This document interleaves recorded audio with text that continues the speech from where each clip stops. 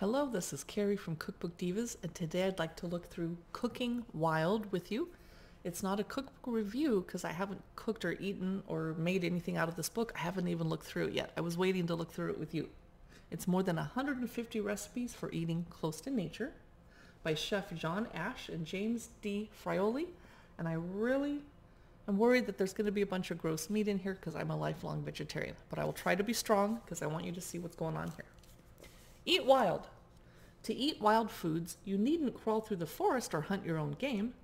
Many of them are as close by as your local supermarket. But this doesn't mean that wild foods aren't worth the hunt. Today's heritage breeds, paleo diets, farmers markets, and environmental concerns all point to increased interest in foods that are as natural, untreated, and healthy as they can be.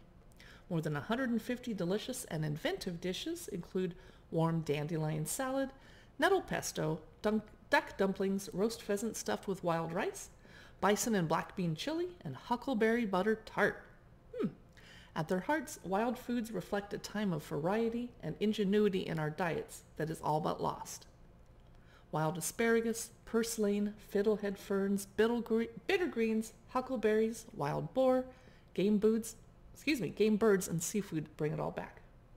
So the James Beard winning authors Chef John Ash and James O. Are the perfect mouthpieces for eating back to nature.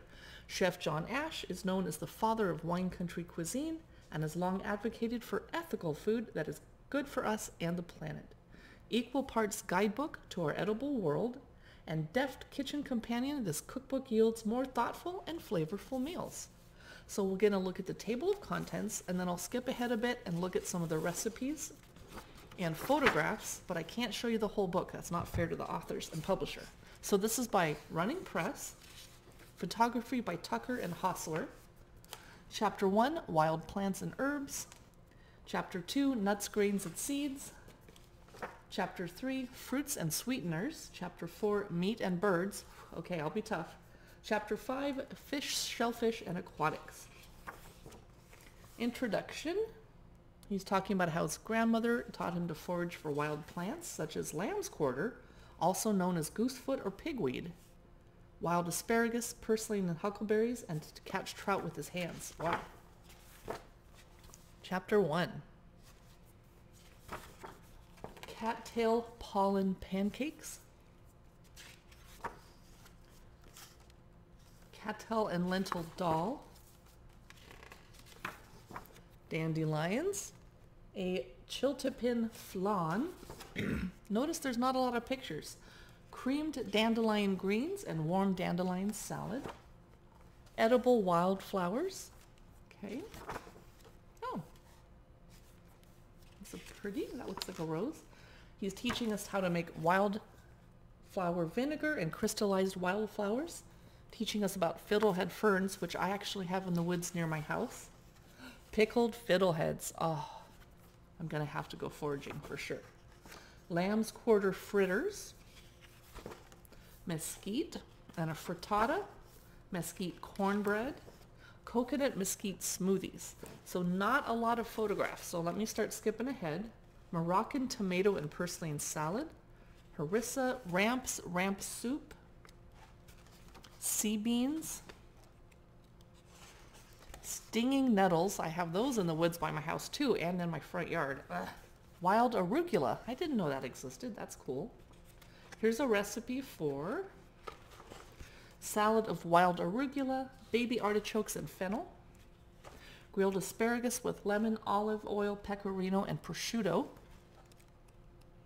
I'm skipping ahead to the mushroom section. Mushroom dashi, candy cap custard sauce, sablefish with chanterelles and parsley, morels. Here's crab stuffed morel mushrooms. This is grilled fresh porcini mushrooms, yum. Nuts, grains, and seeds chapter.